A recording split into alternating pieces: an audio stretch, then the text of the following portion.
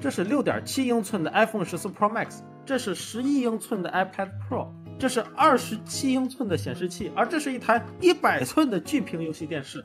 那用这台电视玩《原神》会是什么效果呢？玩 PS 五和 NS 又有什么效果呢？巨屏游戏电视到底有没有必要买？未来随着电视终端的不断升级，有哪些新功能与参数是需要我们了解的呢？我最近搞了一台 Vida Z 百，带给我的开心呢，确实是超出了我最初的预期啊。呃，这期就讲讲选电视这个话题。之前在收到这台电视的时候啊，首先的感觉还是大，一米八多的人站在未开封的电视旁边，甚至都显得很矮。性妖挪舞，所以小区里的楼梯、电梯是否能进啊，要提前考虑，而且非常低。我估计有些家庭哪怕家里有三个人，也很难抬动这电视。但让我依旧毫无顾虑选择这款电视，原因是他们提供免费的上门勘测和普通墙体的安装服务。今年各种品牌都在抢巨幕电视市场，有不少产品已经降到一万五到两万五这个价格带了，早已不再是三四年前大家记忆中啊索尼一百寸要价到四五十万的时期了。当然，很多人还有个问题就是，客厅中沙发到电视的距离不够远，是不是不适合上巨屏？啊，首先的确看电视理论上有一个人眼最佳视角的概念啊，水平视角最好在三十六度。这里也附上一张中国电子视像行业协会做的对照表，给大家收藏参考。但是也提醒一下大家，其实行业协会里的最佳视角在过去很多年是个不断变大的趋势啊，也就是最佳观看点离电视是越来越近的。可能十几年前人们很难想象八十寸、一百寸的电视也会普及吧。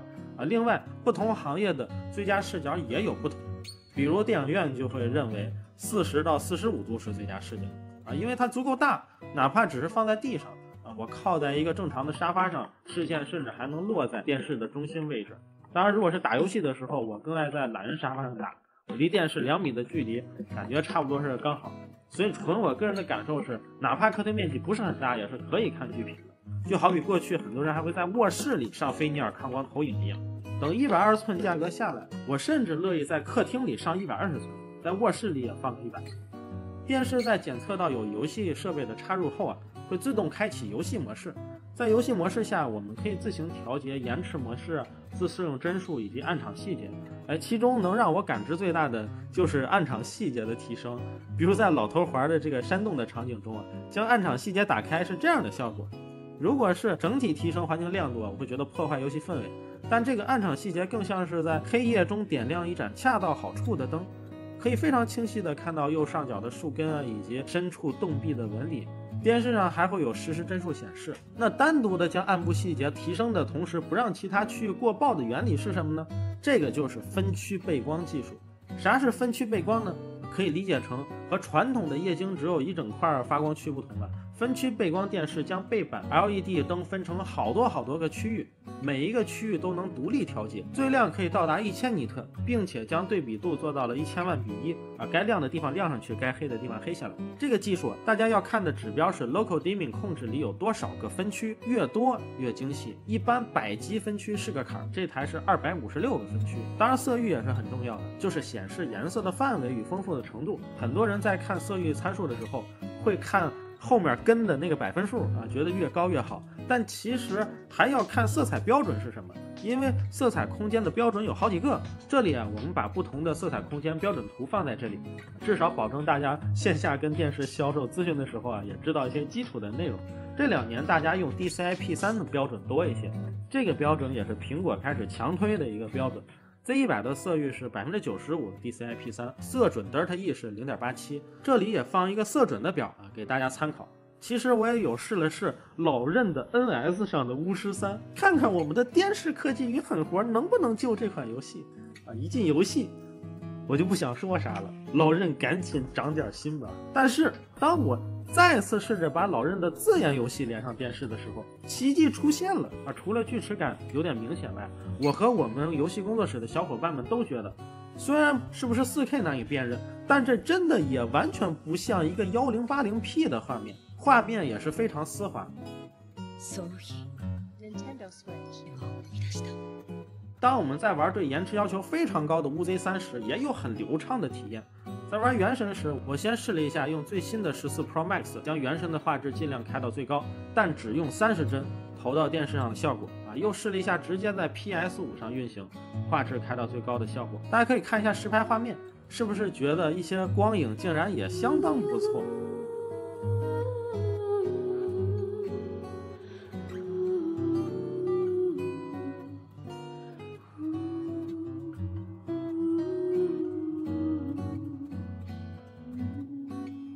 另外啊，其实全通道 4K 120赫兹高刷屏加上运动补偿，对体育赛事啊、日常看剧也可以有用。尤其是接下来世界杯，想要邀请好友们来家看。这里我们再详细讲一下 MEMC 运动补偿以及 DLG 与全通道高刷的区别。对于影视发烧友可能知道，在一百二十赫兹高刷运动补偿电视上看二十四帧的电影，会比在六十赫兹电视上看更加流畅。这是为什么呢？运动补偿是在原先画面帧数不够的情况下，通过电视芯片预测画面运动轨迹，最终补偿出视频源中本身没有的画面，从而提高视频帧率，达到更加流畅的显示效果。那假设我们看一个二十四帧的电影，影片中的每一秒会扫描二十四张精准的图片，所以当我们在最高输出六十赫兹的电视上看二十四帧的画面，就会强行把一秒二十四张图片中的一半重复两次扫描。剩下的一半重复三次扫描，也叫做三比二 pull down 的形式播放。这种做法会导致画面间隔时间不统一，那么此时六十赫兹电视的画面就会出现抖动卡顿现象。这是为什么部分消费者觉得低帧开运动补偿反而不如不开的原因。但是因为一百二是各种主流帧数的整数倍，也就不会有呃帧在重复三次和两次之间交替的现象。还有就是全通道一百二赫兹和 DLG 一百赫兹也要区分。先说一下什么是 DLG 技术。我们都知道，幺零八零 P 视频是水平像素乘垂直像素为幺九二零乘幺零八零，也就是一行有幺九二零个像素点，一共有一千零八十行。视频每一帧画面的呈现都需要一行一行的投射出来。那么幺零八零 P 每一帧就需要扫描幺零八零行，当中的 P 也叫做逐行扫描。而还有一种是幺零八零 I 啊，像素点面积也是幺九二零乘幺零八零。但在画面的呈现上，会利用人眼的视觉暂留效应，在第一帧的时候只扫描奇数行，然后在下一帧扫描偶数行补全，是隔行扫描啊。这也是为什么幺零八零 P 会比幺零八零 I 清晰的原因。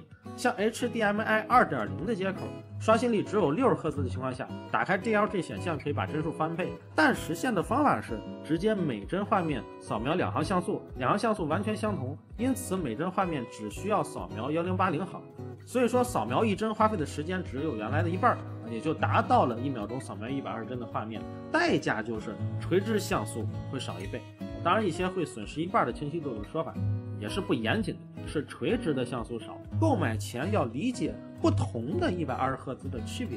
那今年大家升级的方向是 HDM 二点一全通道 4K 一百二十赫兹高刷屏的说法。全通道是指从显示屏解码芯片到 HDMI 2.1接口，全过程都必须支持120赫兹高刷。这个生态有点像木桶原理的意思。HDMI 2.0的传输带宽为 18Gbps，而 HDMI 2.1是 48Gbps。这也是为什么 PS5 的 HDMI 2.1输出带宽被限制在了 32Gbps，一直被玩家诟病。我也试了试电视上的云游戏。云原神的体验较差，最终幻想十五的适配会比原神好很多，支持直接用手机当手柄，但是偶尔会卡一下。不过毕竟多数家庭呢，一买都是要用上三五年的，所以也可以期待下将来的云游戏。还有一个很重要的体验就是音质。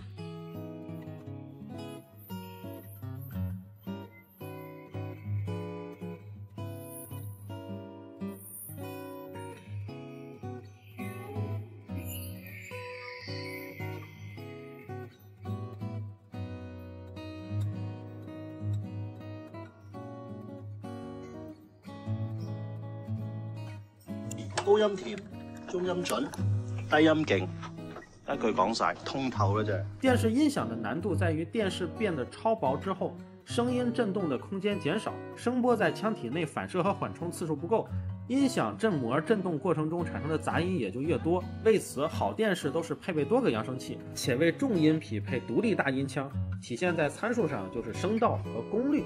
比如 Z 一百的二点一声道六十一瓦，就是只有一个二十五瓦独立低音炮和两个全频扬声器。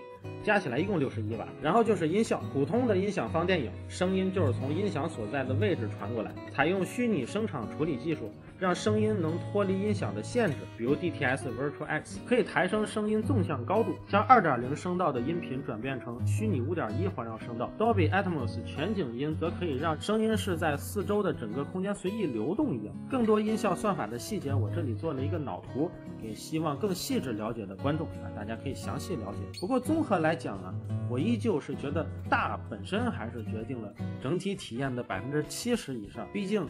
这个是视觉沉浸感的关键，比如我从来想不到，我偶尔无聊时也会开始用手机 连上电视，通过电视看上滑小视频，或者从手机上找到美剧后直接投剧屏上看。虽然片源清晰度不高，但感受还是好很多。而且电视本身也确实是越看越小。收到电视刚装好时啊，会觉得特别大，才看了十分钟，就感觉也还可以。但是三天后会觉得好像还可以更大一些。所以各位同学，你们在未来选择电视的时候，也可以认真的在线下店玩十分钟的游戏再决策。啊，你会发现跟你的第一印象又会不一样。总之呢，祝大家都能够拥有最适合自己的电视，也欢迎大家在评论区分享你的买电视的经验。啊，这期视频就到这里，我们下期再见。